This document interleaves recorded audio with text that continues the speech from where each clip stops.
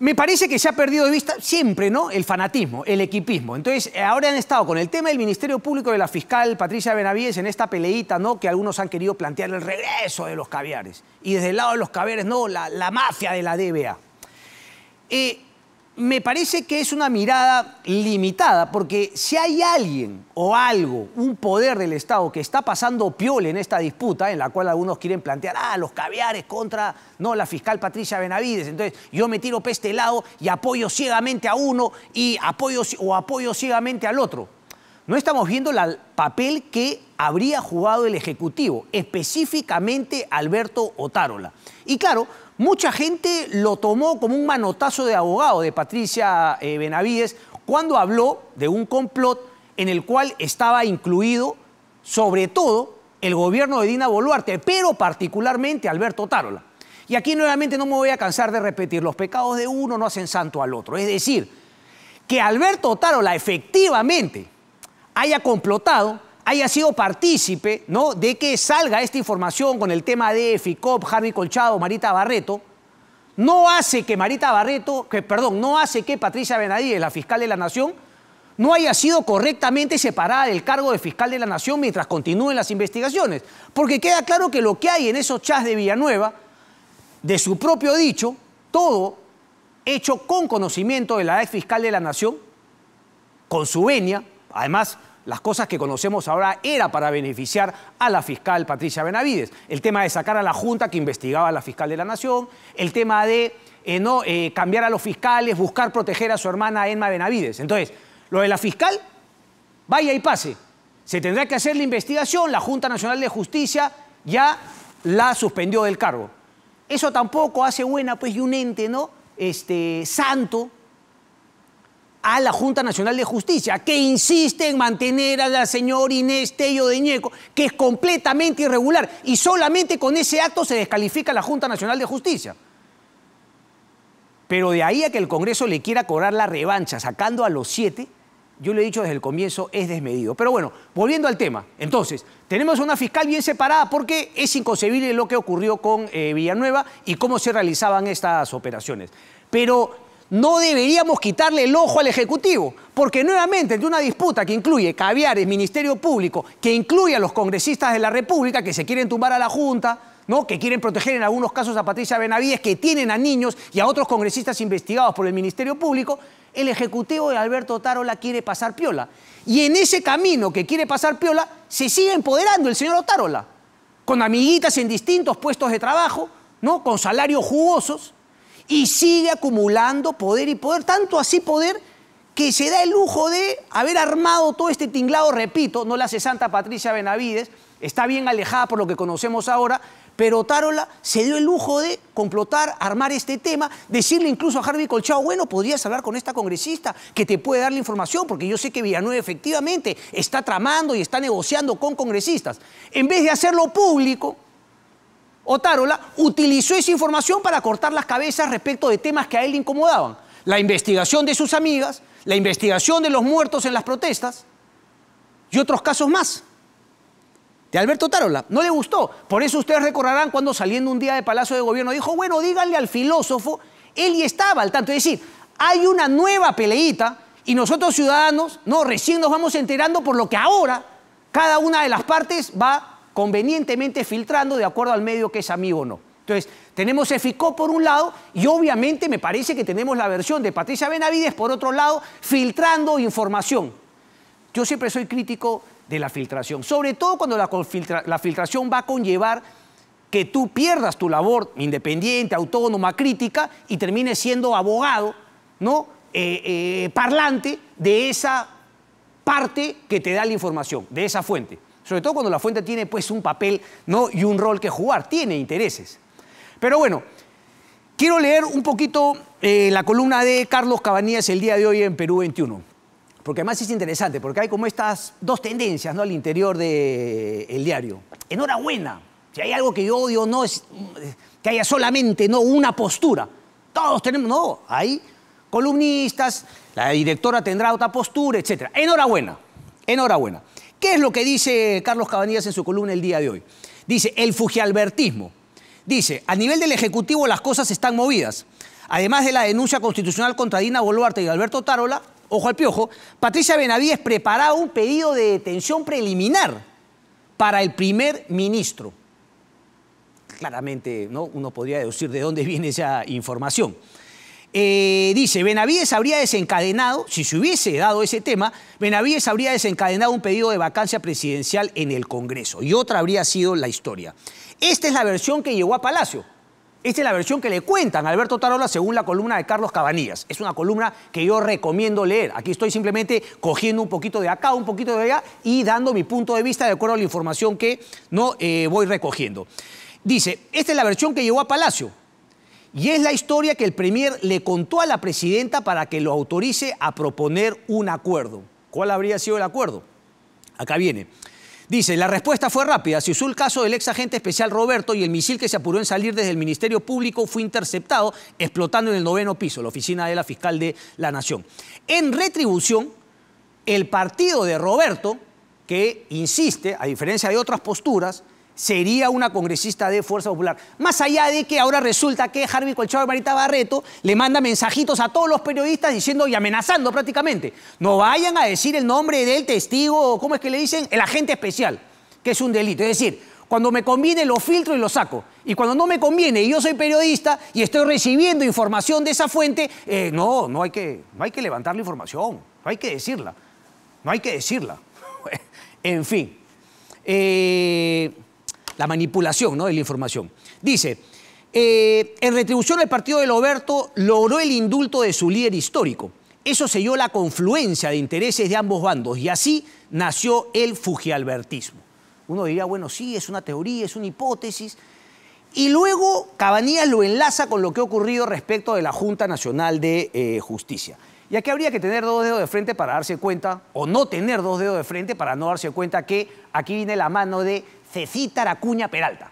¿No? César Acuña Peralta, fiel a su estilo, no tiene ningún tipo de escrúpulos, no tiene ninguna ideología, no tiene nada claro, salvo el interés personal y económico, habría justamente manejado el tema, recomendado por el gobierno, no vayamos tan lejos con sacar a toda la Junta.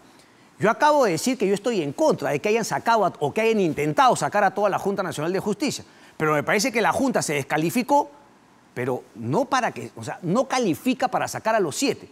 Repito, debieron haber sacado Estello, pero eso se sacaba en el 2021 cuando yo lo denuncié justamente con un reglamento respecto de la Junta Nacional de Justicia, una ley en el Congreso. Pero lo que parece ser ahora es una venganza. Una venganza contra la Junta Nacional de eh, Justicia. Pero bueno, la mano de César Acuña Peralta habría conversado con gobierno, que queda claro, César Acuña Peralta siempre ha conversado cuando sus intereses así lo mandan con el gobierno de turno. Lo hizo con Pedro Castillo y ahora lo hace con eh, Dina Boluarte y Alberto Otárola. Leo nuevamente la columna de Cabanillas. Un día antes, algunos operadores del gobierno estuvieron conversando con congresistas para que no se destituya a los miembros de la Junta Nacional de Justicia. Claramente se sintió la mano de César Acuña, aliado del gobierno. Y aquí se pregunta, además, fue una pregunta que en una entrevista Mávila Huertas le hace a eh, el congresista eh, Montoya. Claramente, ¿no? cuando uno escucha al almirante Montoya, ¿no? Estaba descontrolado porque no se había dado la votación para la Junta Nacional de eh, Justicia. Pero como bien dice Cabanillas, hasta un reloj malogrado acierta dos veces al día. Y parece que en este caso no se equivocó Montoya, cuando le dijo a Mávila Huertas tras la pregunta que ella le planteó, ¿por qué Fuerza Popular y APP postergarían el debate sobre la Junta Nacional de Justicia? A lo que Mantaya contestó, algo van a ganar, quizás sean intereses de poder. Acuña y los fujimoristas manejan el Congreso en alianza con Cerrón. Y en alianza hay que decirlo también con el gobierno de turno, con Alberto Otárola. Y ahorita les voy a explicar, cuando hable de Alex Contreras, ustedes dirán por qué sale el ministro de Economía también en la foto, ¿por qué trabajan en alianza con el Ejecutivo? ¿Ok? Pero entonces, justamente sería ese tema. Algo van a sacar. Y más allá, Rosa María Palacios escribe también una columna que, bueno, un poquito en la línea de tratar ¿no? de fortalecer su propia postura, sus ideas, etc. Y ella dice que no han querido votar por la Junta, o no han querido votar el tema de la Junta, porque están asustados con que eh, los Estados Unidos en Guatemala les ha limitado las visas como a 300 personas. un poquito jalado de los pelos. No un poquito, recontra jalado de los pelos. Ese es el tema de que justamente debería leer la columna de Mario Vargallosa, ¿no? Respecto de la verdad. Ahí la recomiendo. Léenla. La última piedra de toque que ha publicado el diario El Comercio. Cuestionémonos a nosotros mismos. Debatamos con nuestras ideas, con nuestros sesgos, con lo que pensamos. Para eso justamente se lee a la gente que piensa distinto a uno. No querramos buscar un argumento, una excusa para fortalecer nuestro pensamiento y no ser críticos con nosotros mismos. Pero bueno, regreso entonces a lo que habría sido lo de la Junta Nacional de Justicia. Queda claro que fue un acuerdo para no votarlo todavía. Entonces, lo que hubiese convenido, lo que sería más transparente, es que lo hayan votado en el Congreso. Y si no alcanzaban los votos, enhorabuena. Y si alcanzaban los votos, hubiésemos visto y conocido realmente de qué va este Congreso. Pero esta situación nos deja en la peor opción de todas. El cacacenismo, es decir, vamos a postergar, algo tú me vas a dar y de acá a marzo, cuando retome nuevamente el Congreso y la posibilidad de hacer esa votación, vamos a ver qué negociamos. Si es que yo estoy contento con lo que tú me das, tú con lo que yo te doy. Es decir, contubernio, cuchipanda absoluta en el Congreso de la República con esta victoria pírrica, ¿no? De algunos que dicen, bueno, la Junta no lo pudo hacer. No lo pudo hacer por el tema... Lo, no lo hizo porque se pusieron de acuerdo el gobierno, Fujimorismo y César Acuña, PP, para ver después qué se van a repartir, en detrimento de todos los peruanos, de la economía, de la política, del futuro del país, en sencillo. Y aquí viene justamente el otro tema. Alex Contreras, el ministro de Economía, y esta cuchipanda entre el Ejecutivo y el Congreso de la República. César Luna Victoria, hoy en su, su columna de Perú 21, habla justamente un poco de lo que ha sido el manejo económico, el manejo fiscal en el país en los últimos años. ¿No? Y que, claro, tres reglas sencillas. La primera, obviamente, no gastar más de lo que entra. Y que este gobierno se está zurrando en ello olímpicamente.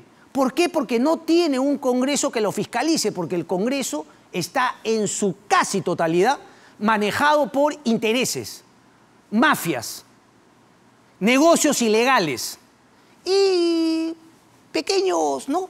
Pequeñas cositas pues típicas de muertos de hambre que pululan en la Plaza Bolívar. Hay que decirlo así de simple. Un bonito por acá, un billetito por acá, una tarjetita electrónica y luego ya lo más complicado, ¿no?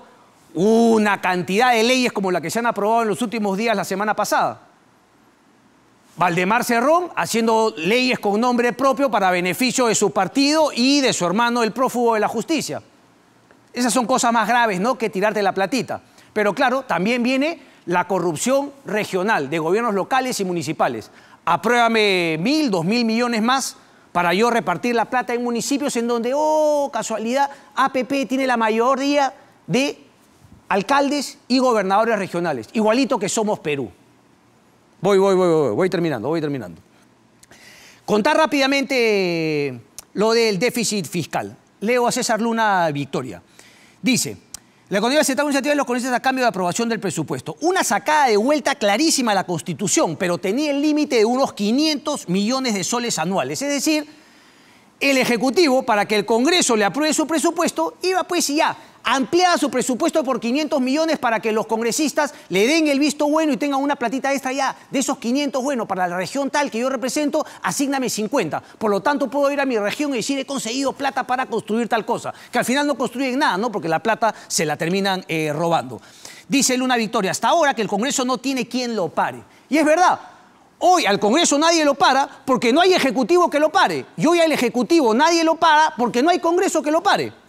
Dice, en abril y en octubre aprobó ampliaciones presupuestales, pero aprovechó para ampliar sus proyectos regionales en 1.300 millones de soles, dos veces y media más de la cuota máxima convenida. Peor aún, en el presupuesto del próximo año, el Congreso ha reducido la reserva para emergencias por el niño en mil millones de soles para incrementar gasto corriente. Yo casualidad de los que 250 millones van a parar al mismo Congreso de la República. Esa es una cuchipanda, pero en toda ley. Dice, una economía que todavía no levanta, el gasto público se incrementa en 12,5%. Tendremos menos ingresos y más gastos.